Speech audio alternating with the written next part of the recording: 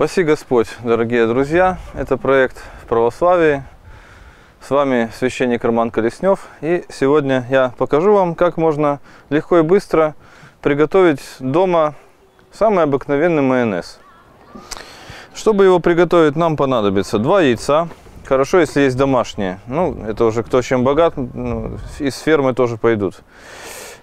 Даже четверть лимона хватит. Сахар, соль, горчица, подсолнечное масло. Можно, и мы еще попробуем сделать с оливковым маслом, оливковый майонез. Можно делать на одном подсолнечном. Итак, делается он очень просто.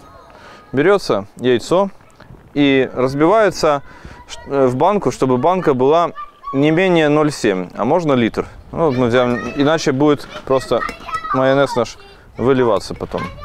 Разбиваем банку 2 яйца полностью, желток с белком.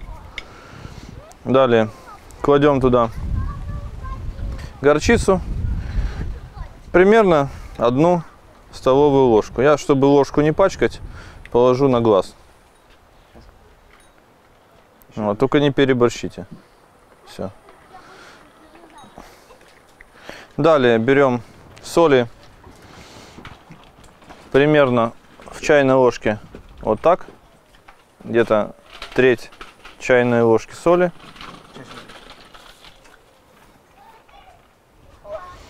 И где-то полторы чайных ложки сахара.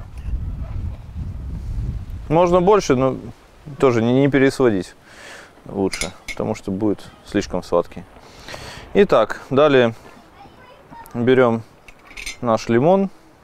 Вместо лимона, кстати, я часто использую обыкновенный уксус, 6 или 9 процентный, в таком же количестве. Вот, берем его, чтобы мы видели, сколько это нужно. Вот, допустим, если это уксус был бы, вот, раз ложечка и примерно где-то 2 столовых ложки. Уксуса можно полторы положить, если делаем с уксусом. И далее берем подсолнечное масло. Причем рафинированное. Если будете делать э, не рафинированным, конечно, это может быть и полезно будет, но будет невкусно. Это уже испробовано много раз. Масло, хоть оно не такое полезное, рафинированное, но тем не менее, с ним майонез получится. Причем, если сразу начать делать с оливковым, может не получиться твердая консистенция. Обязательно надо сначала замесить на подсолнечном масле. Тогда у нас все получится. Вот, наливаем немного сначала, грамм 100, 150. И включаем блендер. И вводим движениями вверх-вниз.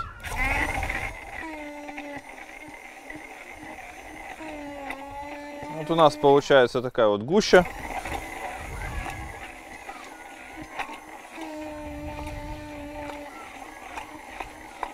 И берем, вот оно замесилось, сразу же доливаем туда еще подсолнечного масла. Долили немножко и взбиваем.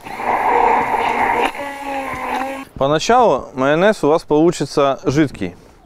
И это нормально, потому что чем э, меньше в нем масла, тем э, майонез э, жиже. Наоборот, чем больше добавляем масла, тем он будет э, более густой. То есть, если вы хотите там, как продают майонез, там 67% там, или 80%, это просто зависит от количества растительного масла, которое является, по сути, основным ингредиентом в майонезе. Его там больше всего. Вот, добавляем дальше уже масло оливковое и взбиваем. С каждым уже э, витком блендера майонез становится все гуще. Вот такой уже достаточно густой получился майонез. Ну, добавим еще немножечко, чтобы он был уже такой вот приятной густоты. Можно добавлять в этот майонез еще чеснок и любые другие ингредиенты, которые добавляются в майонез. Ну, я для, для детей делаю, они с чесноком не любят, поэтому я сейчас не стал добавлять. Ну, теперь очистим остатки майонеза, которые остались у нас на блендере. Тут еще останется Пару столовых ложек точно. Не будем их ими пренебрегать. Вот тут и внутри еще вот целая. Вот только консистенция, видите, получается майонез. Видите, он с ложки не падает, то есть он густой. Если вдруг у вас не получилось, бывает так иногда, что по какой-то причине, например, майонез не взбился, а остался почему-то в жидком состоянии. Причин может быть несколько. Вот. э, Старайтесь, чтобы банка была, во-первых, сухая. Во-вторых, может быть э, масло, которое добавляли вы, иногда попадается, очень редко, но попадается какого-то странного качества масла, при котором может не взбиться. Ну, или вообще бывают какие-то необъяснимые причины, они редко бывают, но случается, что майонез остается жидким. Тогда вы тоже не выкидываете вот эту жидкую субстанцию, просто возьмите другое масло, точно так же взбейте по вот этому же рецепту, и когда у вас взобьется тот майонез, потихонечку вот тот вот жидкий майонез в него добавляйте вместе с маслом, взбивайте, и вы тоже э, не переведете продукт. Намажем немножко на хлебушек. Ты любишь Леша, этот майонез? Держи, кушай. Так, ну попробую чуть-чуть тоже. Что у нас получилось? Давно, кстати, не делал оливковый. Обычно я делаю просто из подсолнечного масла. Интересно даже. Так. Не переборщил ли я чего-то? Или не доложил? Может быть. Отлично получилось.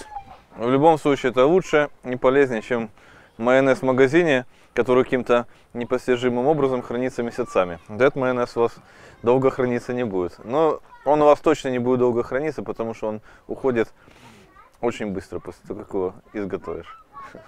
Кстати говоря, э, в пост сделать майонез тоже не проблема. Когда пост, вместо яйца берем кукурузный крах- крахмал, завариваем, точно так же добавляем масло, все взбиваем, получится постный майонез. С теми же ингредиентами, только вместо яйца заваренный кукурузный крахмал. И все. Ангелов всем за трапезой. Подписывайтесь на канал в православии. С Богом!